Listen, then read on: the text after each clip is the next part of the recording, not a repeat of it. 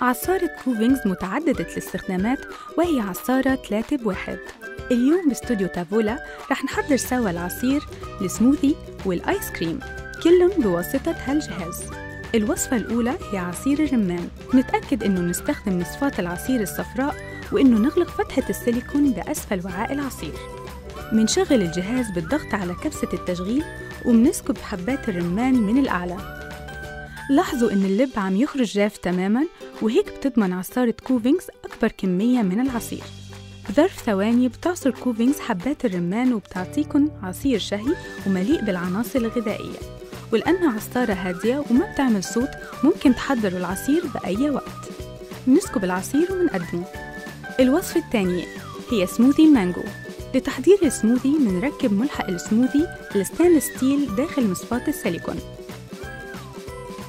منركب مسمار العصير ومندوره مرتين ليثبت بهالشكل. منوضع أنبوب إدخال الفواكه والخضار ومندوره باتجاه عقارب الساعة لنسكره.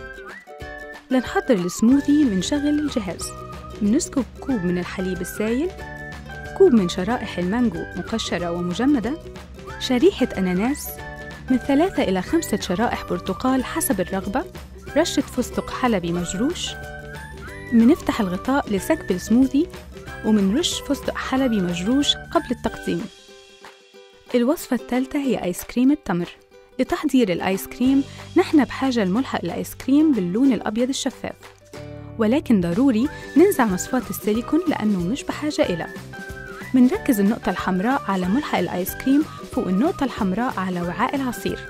منركب مسمار العصير ومندوره منوضع الأنبوب الواسع لإدخال الفواكه. منتأكد إنه الغطاء الذكي مفتوح. ومنبدأ بتحضير الآيس كريم. منضيف خمس حبات موز مجمدة تدريجياً.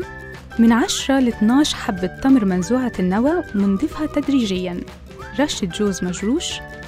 رشة جوز الهند مبروش. ومنضيف كل المكونات تدريجياً للانتهاء من كمية الموز والتمر. منسكب الآيس كريم مع رشة جوز ورشة جوز الهند المبروش ومنقدمها لتنظيف القطعة منستخدم ملحق التنظيف. مندخل المصفاة داخل مصفاة التنظيف بهالشكل ومندورها بالاتجاهين لتنظف كل بقايا الأكل. ومنشطفها منستخدم الفراشي لنتخلص من بقايا العالقة بالفتحات ومخارج اللب والعصير. ومنشطف القطع. وهيك بنكون نظفنا قطع عصارة كوفينجز بغاية السهولة. تابعوا باقي الفيديوهات على قناة استوديو تافولا على اليوتيوب واعطونا رأيكم.